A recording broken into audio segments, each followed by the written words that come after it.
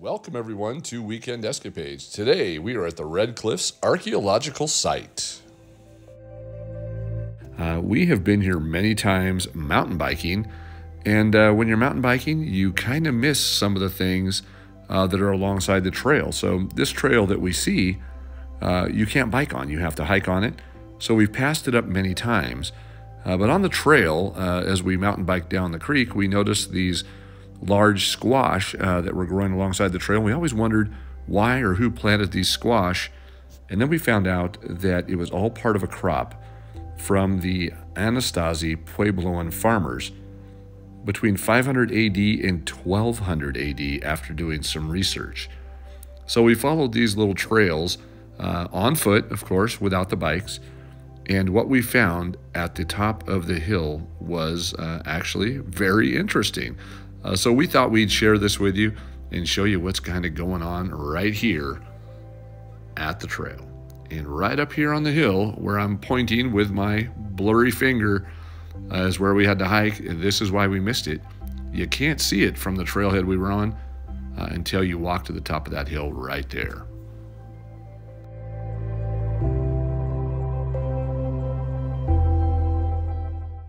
So once we reach the top of the hill, uh, there is a site that is well marked. This was the home of the Anasazi Puebloan people.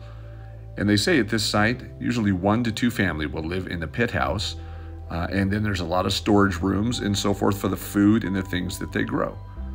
This would be the squash that we found alongside the trail. So this was what we were looking at and saying, that why is it planted here? And sure enough, uh, they grew maize here as well, uh, the corn, and some of that still exists in the area. So take a look at this site of the homes and the storage area. Uh, this is a pit house and storage rooms for everything that they grew and harvested.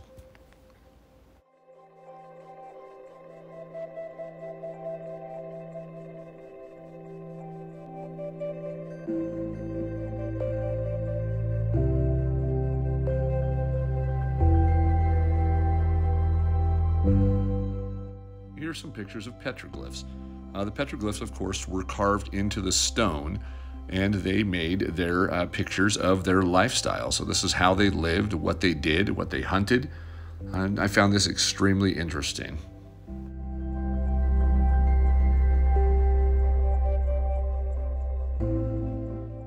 We really had to stop and, and take a look at this. And, and, when you think about it, uh, we visit a lot of ghost towns and, and old areas that have the foundations from homes in the 1800s, early 1800s uh, to you know the, the early 1900s.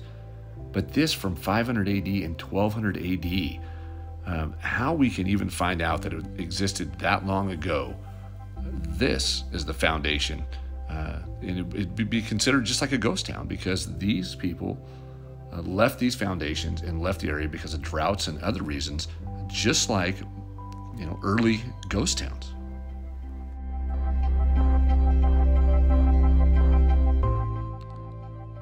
We're out and about looking at locations, we know now to look around every corner because you never know what you're going to find.